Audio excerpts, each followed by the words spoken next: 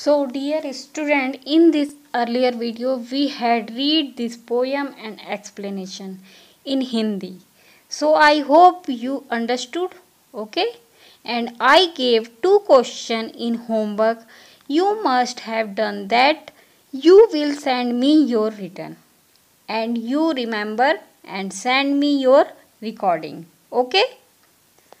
Today's target is new words.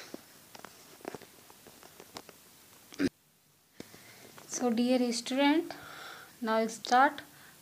Uh, our, our target is new words blaze b l a z e. Blaze means bright flame of fire.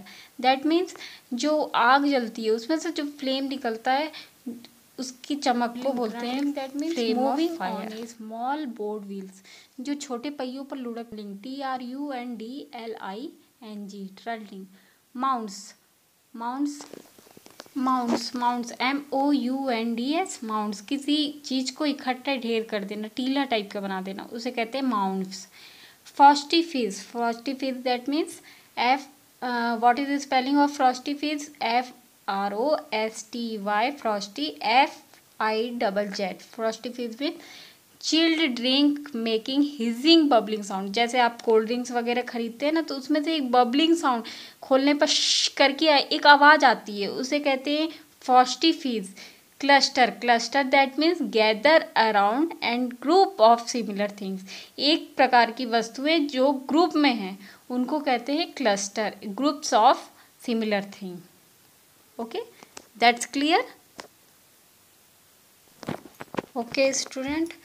You will write these new words in your notebook and send me okay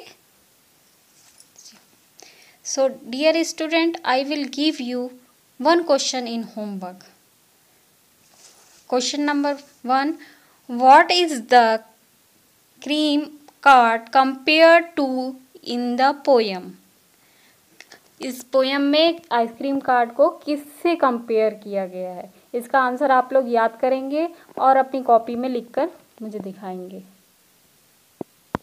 You remember and send me your recording thanks and thanks to all